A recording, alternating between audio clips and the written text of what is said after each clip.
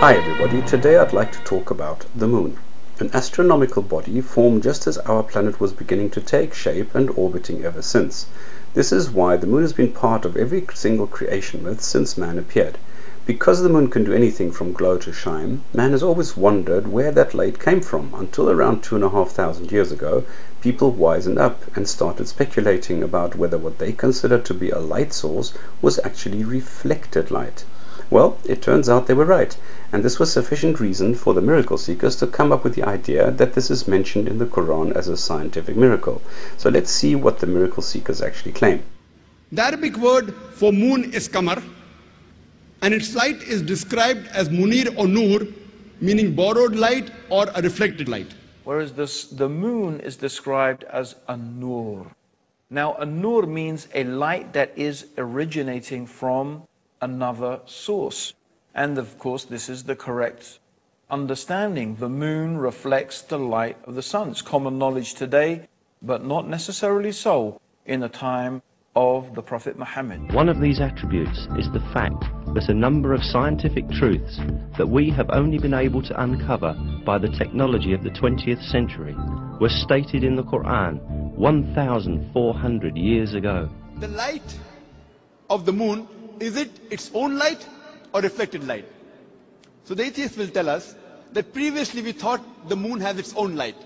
Recently we have come to know in science, recently means 100 years back, 200 years back, we have come to know that the light of the moon is not its own light but a reflected light. The Quran mentions 1400 years ago in Surah Furqan, chapter number 25, verse number 61, that blessed is he who had placed the constellation in the sky and placed therein a lamp, a sun, having its own light and moon having reflected light or borrowed light. The Arabic word used for moonlight in the Quran is munir or nur, meaning reflected light or borrowed light.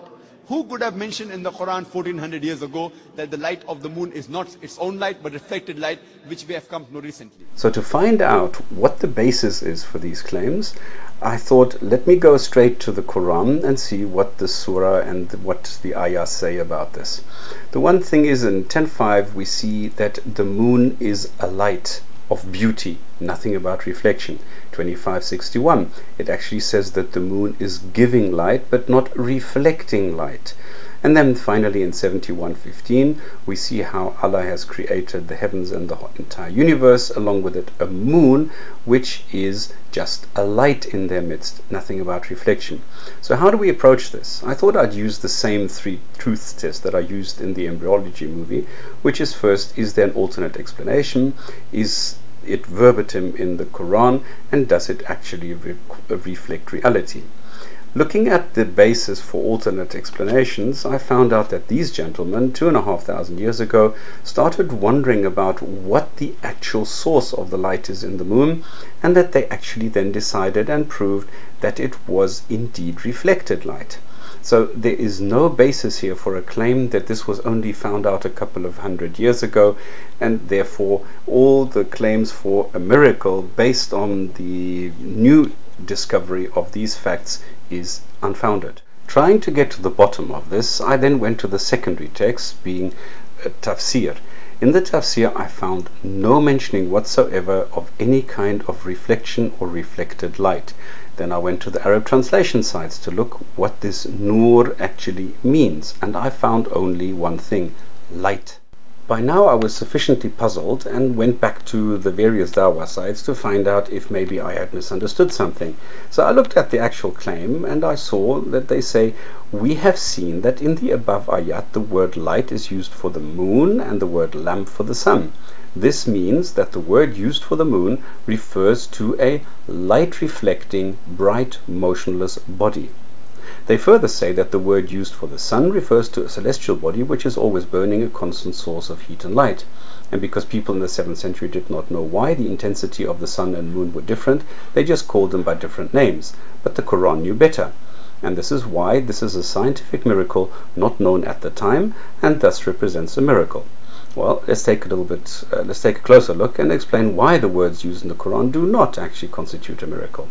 First, we need the word nur, which we have seen means light.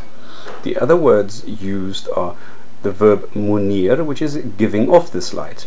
So why do the authors of the Quran not simply use some other word? There are alternatives to describe reality, such as mustanir, which is illuminated. It would have been very easy. Or you have bayan, which means to reflect, or inikisas, or anara al makan, and vadafihi al nur. Excuse my pronunciation, please. But they all mean put light into it, reflect light off of it. So there are words if you want to make it perfectly clear. For the last test, whether the Quran reflects reality, let us go back and read what it says in Surah 24, Ayah 35, which, by the way, is pure beautiful poetry. It starts off with Allah is the light of the heavens and the earth. Now, if we replace the word with what our brain contortionists, such as Zakir Naik and Harun Yahya, have magically produced, we get Allah is a light reflecting, bright, motionless body of the heavens and the earth. Hmm. Not so poetic anymore, is it? Interestingly, in 3346 it says that Muhammad is the source of light, the Siraj Munir, the same word attached to the sun. Is Muhammad the source of light and Allah only the reflector of Muhammad's light? Hardly. I wish Muslim miracle seekers would think of the consequences of their actions. But if that is what they want the Quran to read, so be it. Conclusion The fact that the moon was giving off reflected light was well known in the 7th century. Test number one fail. We see that this interpretation of the Quran verbatim saying the moon gives off reflected light is not true. Test number two fail. Does it reflect reality that Allah is reflected light? Hardly, and thus fail.